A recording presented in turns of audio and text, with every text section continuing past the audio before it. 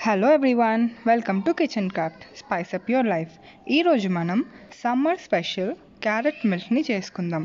ముందుగా దానికి కావాల్సిన పదార్థాలు చూసుకుందాం. పాలు హాఫ్ లీటర్ ముందుగా ఉడకపెట్టుకున్న క్యారెట్ ముక్కలు. బెల్లం ఒక కప్పు. ఇప్పుడు ముందుగా ఉడకపెట్టుకున్న క్యారెట్ ముక్కల్ని పేస్ట్ చేసుకోవాలి. ఇలా మెత్తగా పేస్ట్ చేసుకొని ఒక బౌల్లోకి తీసుకొని పక్కన పెట్టుకోండి. ఇప్పుడు స్టవ్ వెలిగించుకొని పాలు బాయిల్ చేసుకోవాలి. హోల్ క్రీమ్ మిల్క్ అయినా వాడుకోవచ్చు లేదా నార్మల్ మిల్క్ కూడా వాడుకోవచ్చు. ఇప్పుడు వేరే ఒక బౌల్ తీసుకొని అందులో కొన్ని పాలు పోసుకొని ఆ క్యారెట్ పేస్ట్ని అందులో వేసుకొని బాగా మిక్స్ చేసుకోవాలి.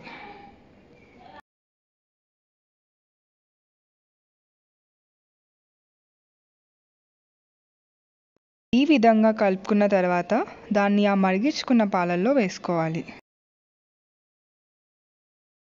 వేసుకుని లమ్స్ ఫామ్ అవ్వకుండా బాగా తిప్పుకోవాలి. పాలు ఎంత బాగా మరిగితే మనకి క్యారెట్ మిల్క్ అనేది అంత టేస్టీగా వస్తుంది.